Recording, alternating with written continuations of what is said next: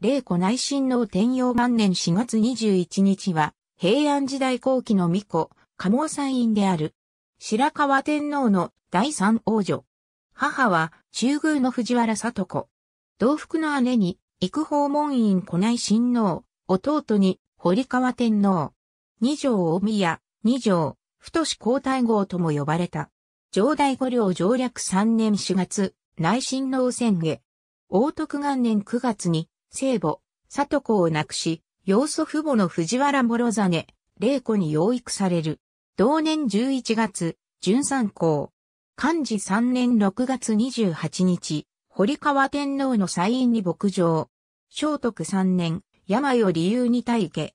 五条房門東道院家に居住。公は4年11月以降は、宮中古貴殿に移る。過剰元年3月、二条堀川邸が落成し、居住を始める。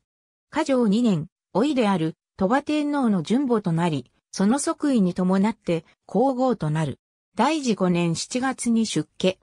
長正3年、鳥羽上皇の日、藤原康子の皇后宮作立に伴い、太志皇太后となる。天陽元年宝鶴と、左大文字山近くの石影と呼ばれた曹操地に埋葬された。参列する者数百名と記録されている。領母は上代五領。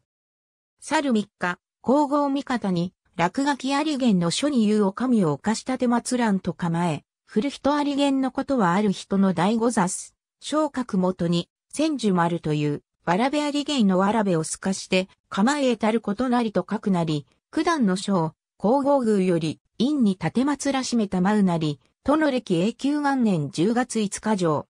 ありがとうございます。